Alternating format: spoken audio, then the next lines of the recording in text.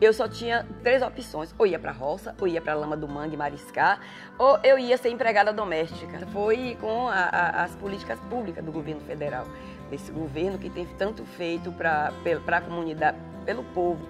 Hoje eles têm uma, uma outra base, uma outra estrutura que na minha época eu não tive. O PT tem uma história de luta e de coragem. A gente só chega a algum lugar unido porque juntas podemos muito mais. Vote PT. Vote 13.